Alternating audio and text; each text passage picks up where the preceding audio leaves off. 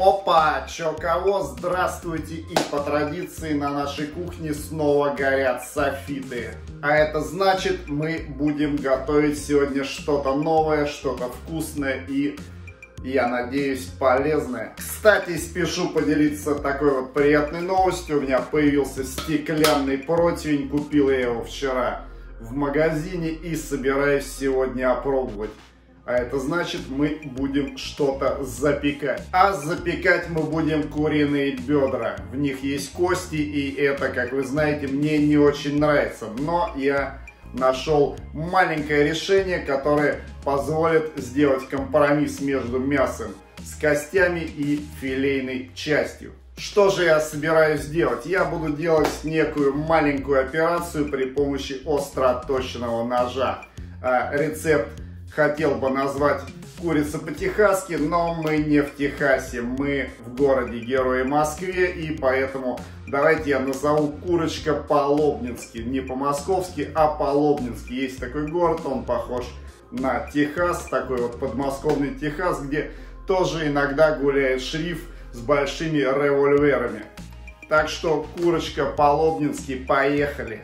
Одной из составляющих в успехе приготовления нашего блюда сегодня является остро отточенный нож. Далее перекладываю курочку в желтый сотейник и начинаю ее качественно промывать под холодной водой. Это тоже одна из составляющих в успехе качественного и вкусного блюда. Далее перекладываю курочку в прозрачный тазик Сегодня у нас курочка будет по-лобнински, а значит никаких американских столов и кухонь. Сегодня вот такая простая русская кухня, где есть коробочки с приправами, коробочки с подсолнечным маслом, разделочная доска и, не буду более говорить, погнали готовить нашу курочку. Вытаскиваем из нашего тазика курочку на разделочную доску и начинаем операцию. Давайте посмотрим, из чего она состоит. Тут две косточки. Вот эта, эта косточка мне тоже не нравится, поэтому я ее убираю сразу. На этих кусочках я уже ее убрал. И что далее у нас следует? Далее у нас очень опасная и такая вот очень тонкая хирургическая операция. Надо, не повредив мясо, вытащить вот эту большую кость наружу. Сейчас мне это походу удастся и я объясню зачем. Вот, косточку мы вытащили, вот такая, как в мультиках у нас. И далее аккуратно пальчиками счищая с нее мясо. Мы ее не вырываем, но максимально достаем, чтобы вот такой у нас гриб подосиновик получился. Все. Вот у нас наша заготовочка для курочки по-лобнински готова. Все вот это лишнее я обычно срезаю, потому что это в принципе жир и в целом не кошерно получится у нас.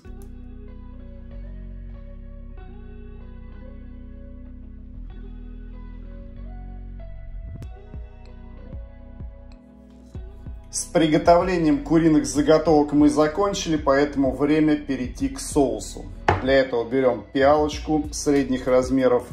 Далее при помощи револьвера, отнятого у лобнинского шрифа, мы выдавливаем чесночок.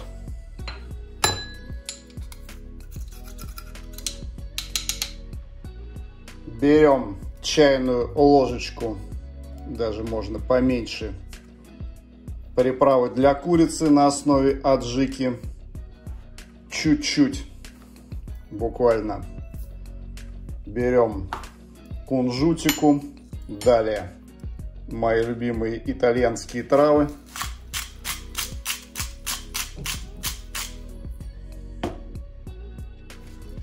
Черный пеппер.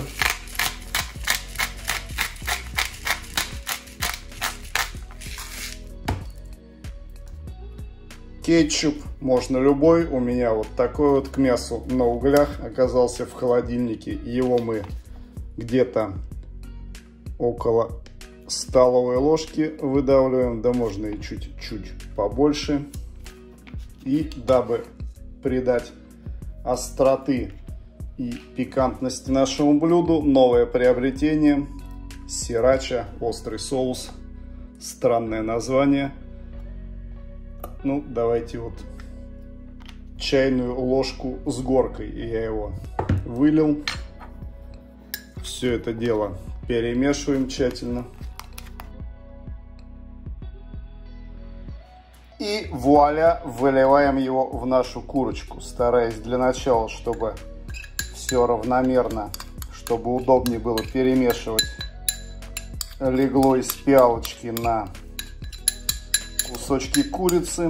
Далее, не боясь запачкать наших рученик, начинаем все это дело перемешивать. Очень-очень-очень, при очень тщательно. Каждый кусочек мы проминаем.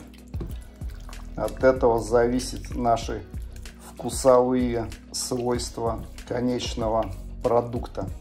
Вот такая красота у нас получилась. Все промазано нашим соусом и пора выкладывать курочку на наш стеклянный противень.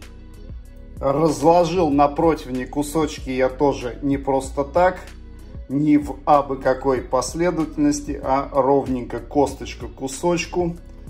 Далее у нас косточка к кусочку и косточка к кусочке.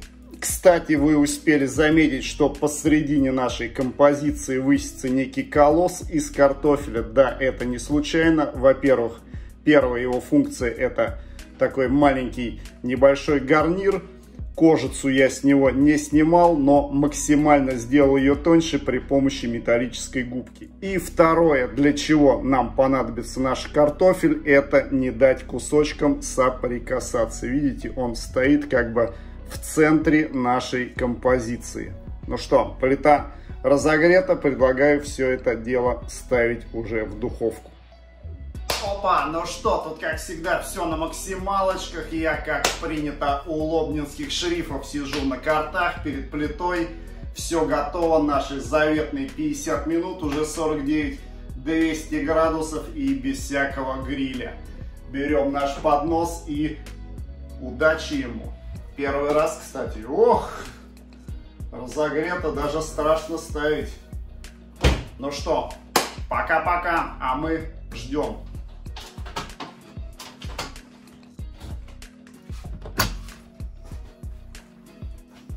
Опа, опа, опа. Пришел наш любимый ученичок.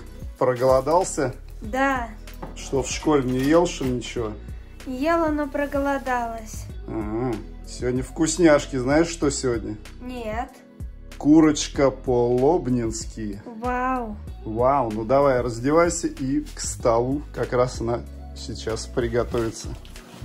Плита возвестила о готовности. Я дал нашему противню чуть-чуть постоять, чтобы подостыл, иначе его нельзя доставать сразу из духовки.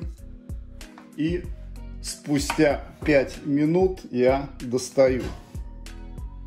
Что у нас тут? Давайте поставим на плиту и рассмотрим получше. Что же у нас получилось? Курочка очень хорошо пропеклась. Сейчас я возьму ножик и покажу, что к стеклянному подносу, почему я так его хотел, у нас абсолютно ничего не пригорает, в отличие от металлического. Картошечка у нас полностью пропеклась, и пора все это дело подавать к столу. Этот кусочек по прожаристи я положу Ксении этот кусочек давайте я возьму себе. И при помощи ножа также поделю картошечку на три равные части. Себе я возьму жопку, дочери я дам сердцевинку. Вуаля! Опачки, не успел сервировать, ученичок уже тут как тут. Ну что, Ксюх, пробовал уже или нет? Как нет. тебе? Нет? Так пробуй. Как тебе курочка у нас по-лобнински. Очень вкусно. А форма как тебе не впечатлила вот эта ножичка? Как прям в Техасе, да? Как будто Мгм. из дикой игуаны сделали, да? И на Да. вкус мягенькая. Одобряешь? Одобряю. Ну, отлично. Приятного аппетита, Ксю. Спасибо. Кушайте на здоровье. А я также сейчас присоединюсь, так как тоже голоден.